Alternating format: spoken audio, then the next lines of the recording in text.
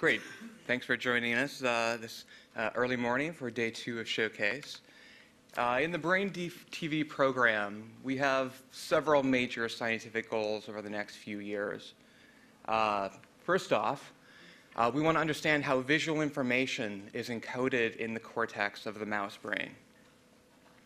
And we're particularly interested in uh, several key cortical regions in the back of the brain here that correspond to the visual cortex. So we use a rich uh, diversity of visual stimuli to characterize how individual cells encode uh, visual features of the world.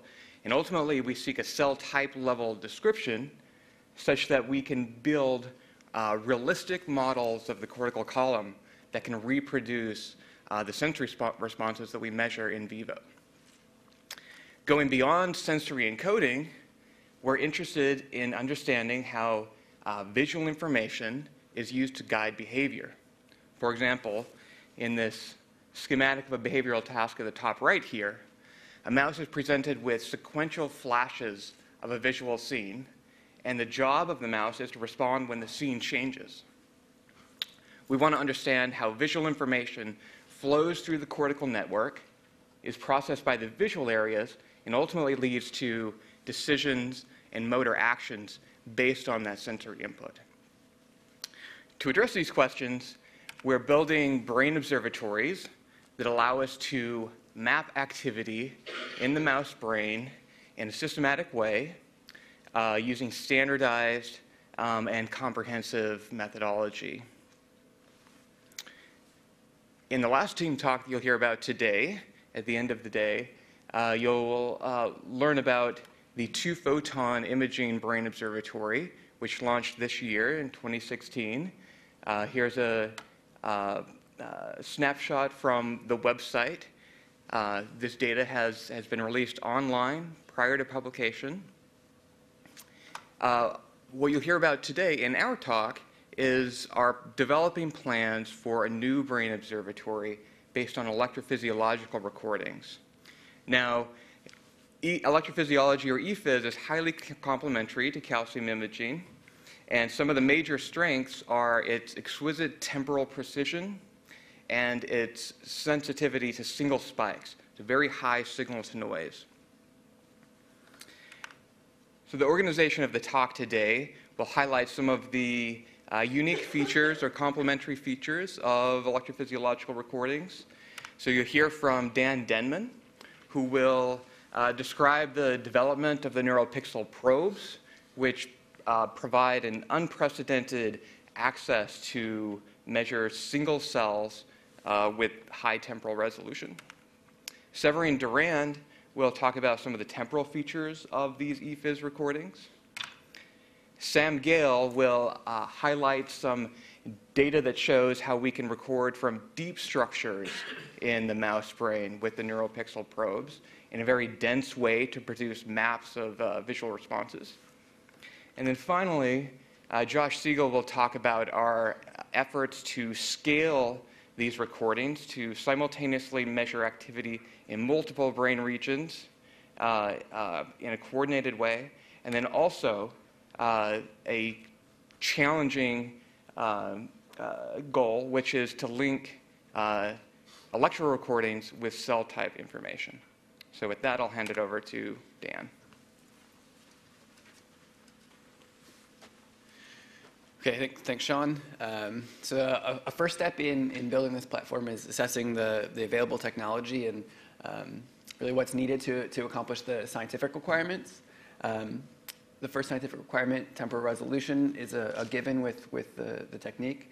Um, and the second one, depth resolution, is really um, pretty easily accomplishable with, with um, commercially available probes. They're able to record from structures deep in the brain. It's this last one, the ability to record from large distributed populations of many single neurons where um, commercially available probes and, and even developmental probes uh, don't live up to the task and, and um, certainly didn't a few years ago when this consortium was formed to develop a new extracellular, extracellular electrophysiology uh, probe called the NeuroPixels probe. So we at the Allen Institute are a member of this consortium along with other uh, research and funding institutions, probably most importantly IMEC, which is a semiconductor foundry in Belgium where these probes are, are actually manufactured. So what I want to do now is go through a sort of um, breezy history of the development and assessment phases of this um, NeuroPixels probe project, sort of keeping in mind these probe requirements, uh, which were important during the development, um, and trying to circle back to um, this last technical challenge. Um, can we develop a new probe that can record from large populations? So, so many, many single neurons, hopefully many hundreds of single neurons. Um, okay, so let's keep these probe requirements in mind and go through the, the design phases. So in the first phase, we focus just on the individual sites of these electrodes. Um, so you can see a, a, diagram of the whole probe here and, and the multi-shanks of this first phase one probe, in which we focused on these, um, these sites, which you can see in the electron micrograph here. These are titanium nitride sites. And the most important thing, since these are a relatively new material for, for this type of technology, was to make sure that they had low power um, and they were stable, um, which we were able to, to test during this phase. And by stable, we really mean that they're biocompatible. We can put them in brains and they don't fall apart. Um, so this was successful. We moved on to the second phase where we took these sites and arranged them on a single shank that is um, somewhat similar to what we hope the final product to be. So you can see um, some of these individual sites now arranged on one single shank on this diagram of the probe. And uh, sort of most importantly in this phase, we added electronics within this, within this shank to provide some of the functionality, which I'll describe later. Um, and uh, by adding those electronics, we had uh, wanted to test a few more of these probe requirements while maintaining the, these things we'd, we'd already validated, um, primarily low power since we added electronics and uh, experimental feasibility. Do these shanks um, still go into the brain and do they not break the brain when we, when we put them in? Um, so not only did we pass that bar, but we got some really good um, high quality actual scientific data using these, these phase two probes. And that uh, encouraged us moving on to, to phase three, which is very close to the complete and final package, which uh, looks like this. So these are the um, final parameters uh, of the NeuroPixels probes. You can see a, a, whole probe over here. It's a few, a few centimeters. At the end, there's a 10 millimeter shank, which is completely covered in those sites that I described from phase one. Uh, and under each site, um, there, are, there are electronics that allow the, the sites to be individually addressable. So of the, of the 966 sites that cover this 10 millimeter shank, any 384 can be read out depending on which, which ones the users want. So you could choose 384 channels down here at the tip. You could choose 100 at the tip, 100 in the middle, and 184 at the top, sort of um, as your heart desires or as the brain dictates. Um, and in the end, what you have is um, a data stream read out at 30 kilohertz that produces about one gigabyte of data per minute. So this brings us to the actual scientific challenge. Okay, you've got one gigabyte per minute, but how do you get many single neurons out of it? Um, so if you take a, a, small chunk of raw data here, just from the tip of the probe in just a few milliseconds, you can see events where there are individual spikes like this one uh, that spans a few channels and this one that uh, appears just on one channel. Unfortunately, the sort of typical techniques that existed in the field uh, to process this data into, into individual spike times were totally infeasible for data of this scale. It took about two months to process a two-hour recording. Um, and thankfully, a, a, byproduct of this consortium has been the development of, of the software tools required to, to work with this large-scale electrophysiology data. So the first is the algorithmic set, um, which is an implementation of a template matching algorithm a group at University College College London that allows us to identify the spike times in the recording and assign them to, to putative single units. So, so this spike may have come from unit number one and this unit number three, and then we go through the whole recording and, and we assign, the, assign them we get unit one and unit three. Unfortunately, it's not perfect, even though it took our processing time down from two months to two hours. Uh, we still have a manual step where we have to go in and look at the spike waveforms of individual units, like a couple I show here, and this, the spike times to say, okay, these things that the algorithm found are, are not good, we're going to throw them away, and, and, these things are good, we'll keep them. We'll put them into our standardized um, neurophysiological data format, partially developed here at the Institute, Neurodata Without Borders, and then we can get to our question, how many single neurons we actually record? Um, and so here's an example of 106 uh, neurons shown on the y-axis here, recorded simultaneously in V1 in just a, a few seconds of their spike times. Um, so 106 is a, pretty reasonable number. It's on the high end, but it's um, close to what you can expect from, from uh, a sensory cortex like primary visual cortex. We get between 70 and 100 neurons every time we put our next NeuroPixels probe in the brain. We've gotten really great yield um, uh, in any every brain structure that, that we, we um, put the probes in, getting uh, a couple hundred neurons on average across the whole probe. Just for some context, comparing um, a similar uh, commercially available probe, single shank that covers a single structure. Um, it's not a, quite an order of magnitude improvement, but it's about a 5x improvement in the number of single neurons that, that we can record. um, with a single shank. So we're really excited about um, the quality of the data that these probes produce. And I'm going to hand it over to the rest of the team now to talk about some of the science that we have done uh, and are planning to do, starting with Sev, who will talk about the, um, the temporal resolution of extracellular EPhys.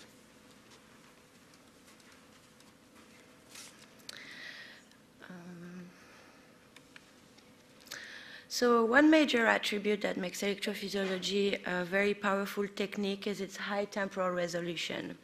So to illustrate that high temporal resolution is crucial in understanding the, um, the response to visual stimulation, uh, I'm showing here different types of response to visual stimulation uh, uh, observed with different techniques.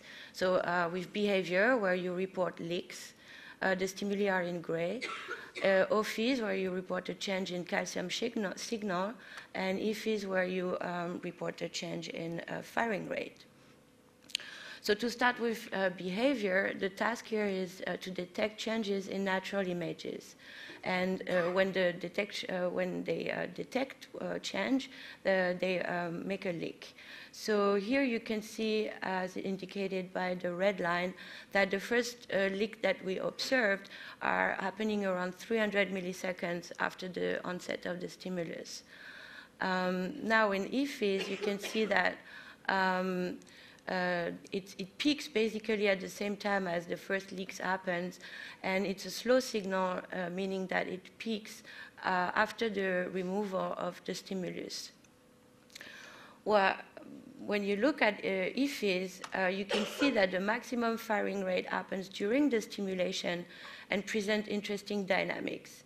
So basically, if you want to explain what's happening here before a decision is made or before a leak is made, uh, electrophysiology is a great candidate to help you understand that. Now, uh, another advantage of electrophysiology is the fact that we can record from all cortical depths uh, at the same time if you want to understand the flow of information uh, in a cortical column, um, you need to understand the flow of information, uh, the um, dynamics with, within and uh, between layers.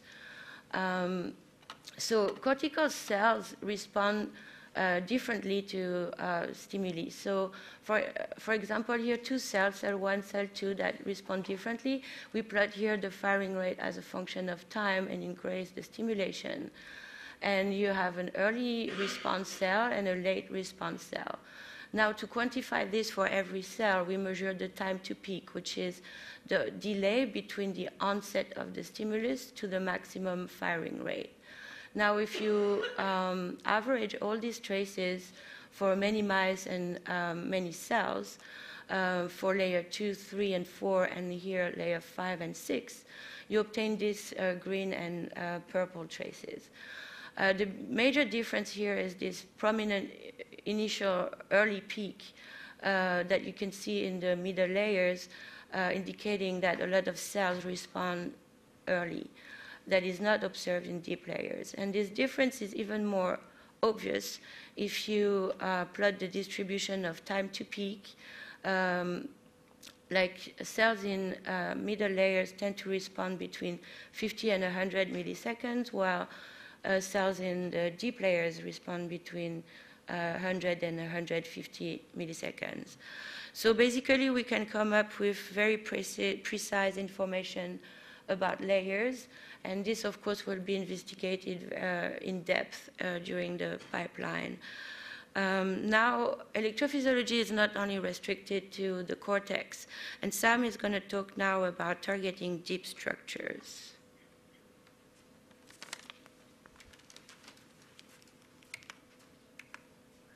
So one of the deep structures in the brain that we're very interested in is the thalamic nucleus LP, shown here in the middle of the brain.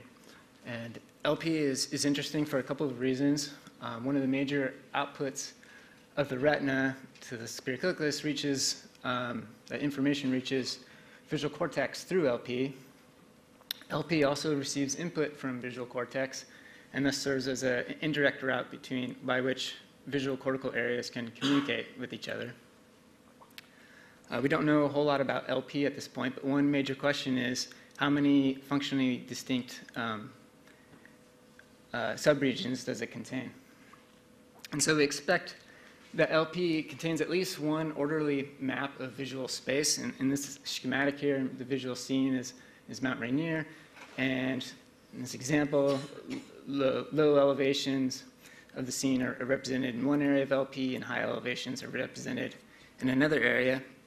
And we can represent any axis of the visual map in LP, such as elevation, with color. So here I'm showing low elevation in blue and high elevation in red. But another possibility is that LP contains multiple maps of visual space. So in this example, uh, neurons in two different regions of LP represent the same portion of space, but those neurons might differ in their connectivity and in their function. So to map the representation of, of visual space in LP, we present flashing stimuli at various locations, and we record uh, which locations in space a given neuron um, responds to, and we call that region the, the neuron's receptive field. Each of these bubbles over here is, is the receptive field of an individual LP neuron, color coded by the elevation that that neuron responds to. Um, and during the experiments, we also coat the NeuroPixels probe with red dye. So now we have information about where each of these neurons is located in LP and where it responds to in visual space. Uh, and we can combine this information to create a three-dimensional map of the representation of visual space in LP um, using the Common Coordinate Framework brain. And so here's what that looks like for our preliminary data set. And you can see that there's transitions from regions of LP representing low elevation, shown in blue, to regions representing higher elevations in red. And something interesting that pops out is it appears, at least is suggestive so far, that there's two uh, separate maps in LP. So a region from representing low elevation to high elevation here, and another transition from low elevation to high, high elevation over here. And the region where these two uh, maps meet in the middle of LP corresponds really closely to the border in LP of the, of the region of LP that receives input from the superior colliculus and the region that only receives input from visual cortex. And so we're very interested to, to discover how um, neurons in each of these regions of LP differ in their function. It would be particularly informative if we could record from both of these LP subregions and visual cortex simultaneously. So now Josh is going to talk about how we can make that kind of experiment possible. So Sam just gave us a great example of how we can use the long length of NeuroPixels probes to record from deep structures, but we can also take advantage of this length to record from multiple brain areas simultaneously. Because the sites are spread out over almost 10 millimeters, or sorry, yeah, 10 millimeters, um, we can stick a single shank through superficial and deep structures and record uh, from all the areas in between. So for example, we've already done several experiments in which we stick a single shank through primary visual cortex down into LP or down into lateral geniculate nucleus, and we're able to record uh, visual responses on, in, in both of these connected structures simultaneously. However, if we want to record from multiple cortical regions, it's usually not sufficient to have a single probe in the brain. Uh, in this case, we need to use multiple probes to target different areas that are spread out uh, across the cortex. So the current um, two-photon brain observatory includes data from um, primary visual cortex as well as three higher visual areas, LM, AL, and PM. And uh, this is a diagram of how those areas are oriented on the surface of the cortex, and this is kind of a, a side view of the, the same areas. Now, in the upcoming NeuroPixels Brain Observatory, uh, we're also interested in recording from as many areas as possible, including many of the higher visual areas, but we're limited by the fact that we have to collect all of our data in a single experiment. So instead of recording one area at a time, as is done with the current two-photon brain observatory, uh, we're going to stick multiple NeuroPixels probes into the brain simultaneously. And uh, we can plan where these probes are going to go by doing uh, intrinsic signal imaging through um, intrinsic signal imaging to get the, the retinotopic maps. Um, and then we can align our probes to the center of each of these areas. And as a result, we will not only be able to measure the properties of cells within each area, um, but we'll also be able to look at real-time interactions between areas and across layers. And so um, we're, we're very excited about uh, the possibilities of these data sets and being able to monitor the flow of information through the cortex on a trial-by-trial basis.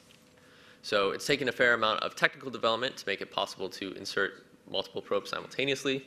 Uh, to accomplish this, we partnered with New Scale Technologies, which is a, a company that manufactures tiny three-axis linear stages, shown here. Um, we gave our requirements to New Scale, and they delivered a complete insertion system capable of positioning uh, NeuroPixels probes with submicron accuracy. So each of these probes can be moved independently in order to target a specific visual area. So we're currently carrying out experiments using this new scale system. Uh, this is an example of some of the data that we've collected. So this is a single experiment where we have three, uh, sorry, four probes uh, almost fully inserted into a mouse brain. Um, the, these heat maps here show the density of neurons recorded on each channel.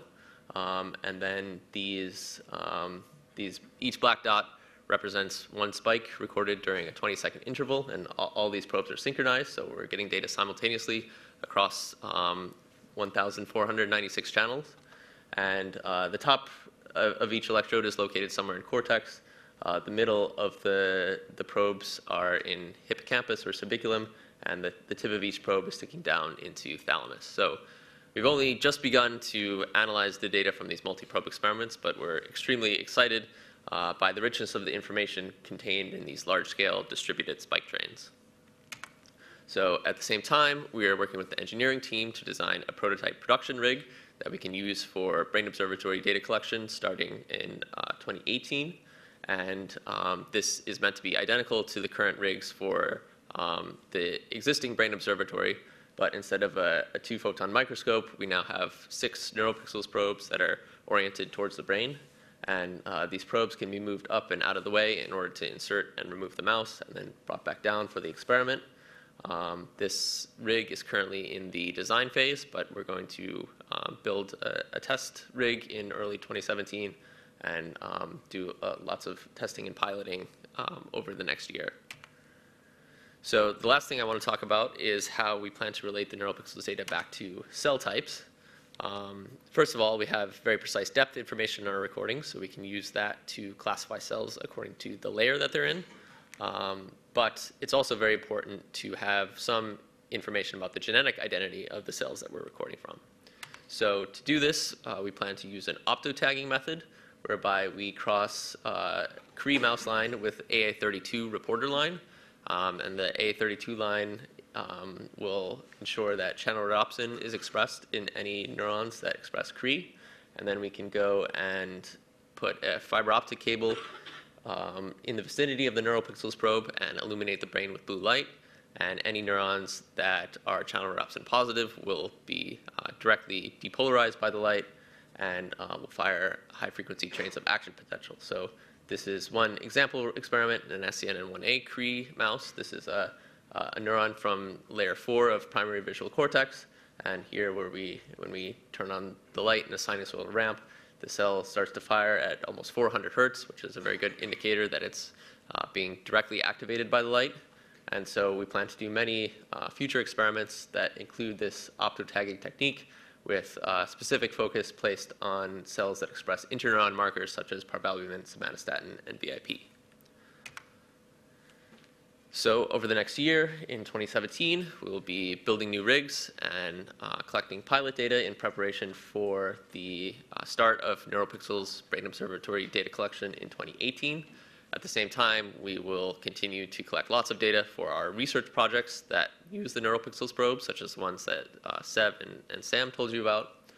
And looking further into the future, it, by 2019, we hope to be collecting NeuroPixels data in mice performing a visual task, so we can investigate the dynamic spike patterns that underlie behavior. And through these experiments, uh, we want to take advantage of the millisecond timescale temporal resolution of EPhys in order to better understand how the mouse brain transforms visual stimuli into decisions. So I'd like to thank uh, Paul and Jody Allen for their support and all the members of the Allen Institute who contributed to the development and testing of the NeuroPixels probes. So, thank you.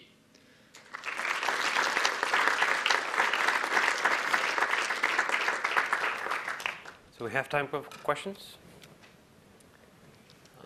How close can you get the probes? Could you get three probes within V1? Yeah, I mean, you can basically make the tips touch. They, ha- they have to come in at an angle, maybe like 15 to 20 degrees. So, um, depending on how deep you want to go, you're limited um, by how close they can get. But yeah, you could definitely get three probes into V1. So th- this hardware, temporal and um, spatial density, do you feel like this is all you need? You have sufficient temporal and spatial density for the task of neurons, or do you wish you had more spatial density? Do you feel you're oversampling in time domain? I mean, is this kind of, not the last word, but sufficient for the task, or do you wish the next phase is uh, more wowy?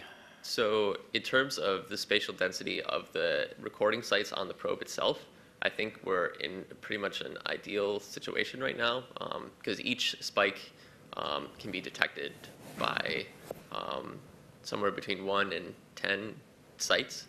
Um, so, having a higher density of sites doesn't really help us in terms of being able to distinguish nearby neurons.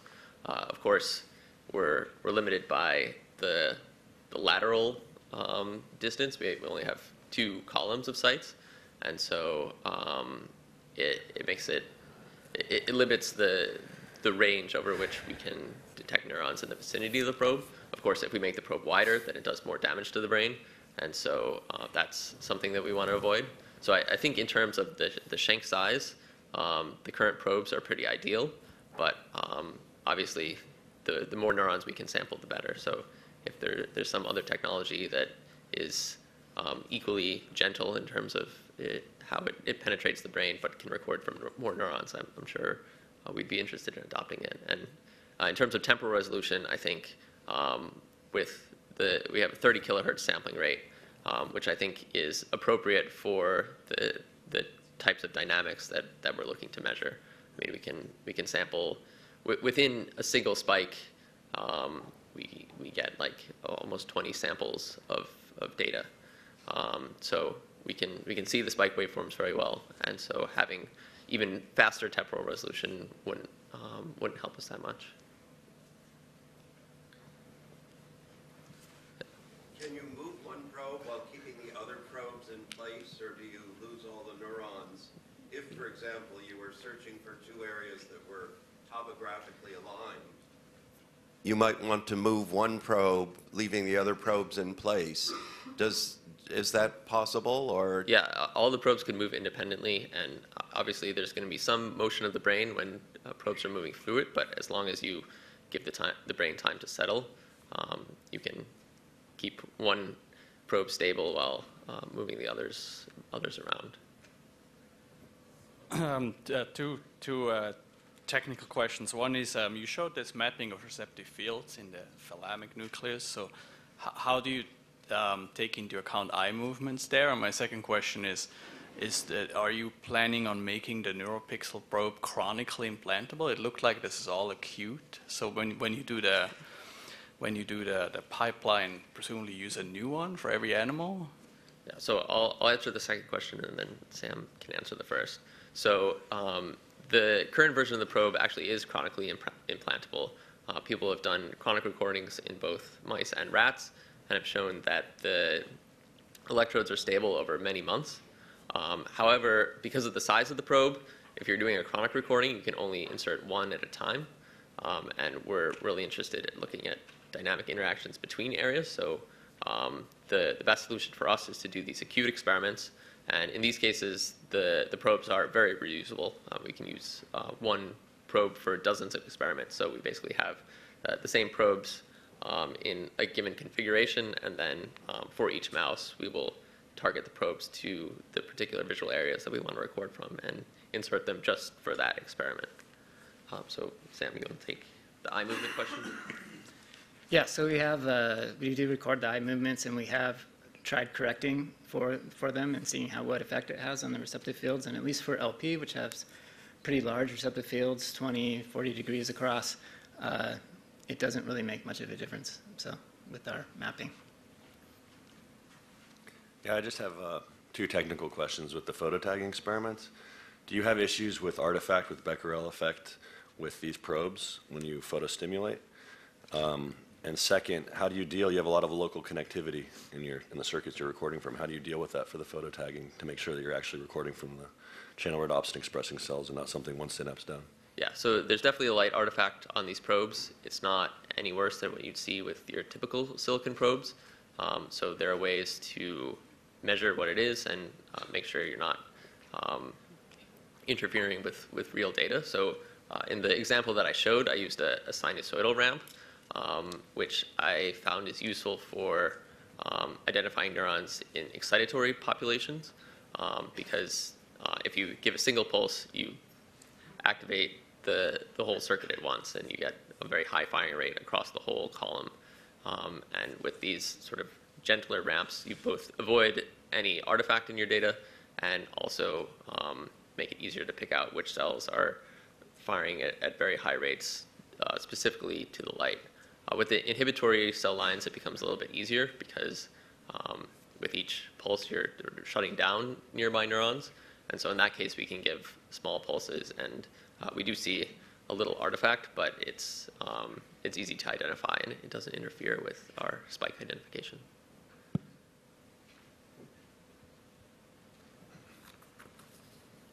So thank you uh, Thanks. very much.